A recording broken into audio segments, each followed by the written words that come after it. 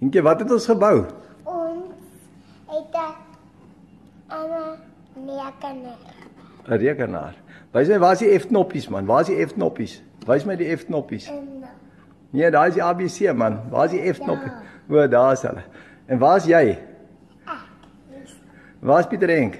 da, En waar is Janka? da. En die CD? Siri. Ja. O, en die harde skyf? Jare skryf. Nee man. Ah, daai wat jy eet, die yoghurt is jare skyf man. Ja, ja. Ja, ja, ja, jy het vergeet. OK, en het hy batterye hierdie ding van jou? En ja. Wat is daai?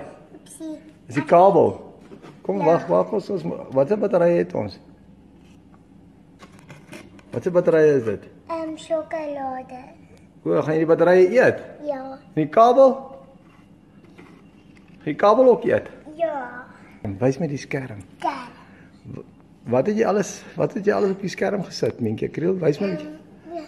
Ons het ehm ons speel buite en dis pappa se verjaarsdag. O, en dit is by die swembad. Ja. En die son skyn en die gras groei. Ja. Dit is baie mooi. Maar ek het net hierdie een verkeerd geteken, mis buite geteken. Moes hy buite gewees het. Ja, maar ek het net verkeerd geteken. Okay, high five. Lekker ontbyt eet, hoor. Ha, wat eet ons rekenaar vandag? Eet. Wat gaan jy eers eet? Waar is die eier? Waar is die waar is die stuurwiel? Daar. Waar is die stuurwiel? Die stuurwiel van die trekker. Waar is die uitlaatpyp?